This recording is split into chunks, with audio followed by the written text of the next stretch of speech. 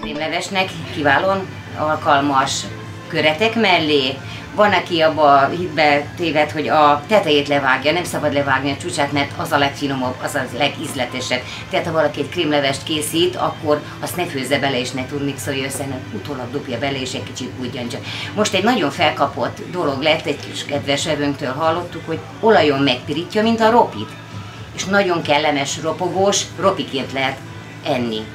Tehát a, tart, a vitamin nem sül ki, nem föl ki, ugyanúgy benne marad.